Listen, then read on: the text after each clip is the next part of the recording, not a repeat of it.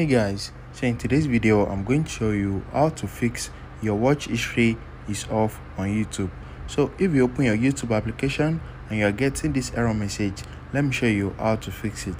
So the first thing you need to do is when you open your youtube app like this click on this u right here which is your profile menu.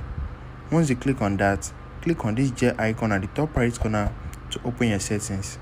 Once you get to settings click on manage all history once you click on manage all history wait for a few seconds for this to load and you need to click on not saving your youtube history.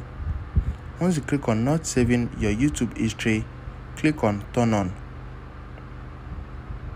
So once you click on turn on click on turn on right here and once you click on it your youtube history will now be turned on. So just click on got it and now you can go back. So let's go back. And once you get to your home page just search for a few videos and watch them. So let me search for mr beast and i'm going to watch one or two videos. Weirdo! Yeah. so I put once you have watched few videos just go back to your home page and refresh it. So as you can see we have fixed it. Just watch few videos two or three videos.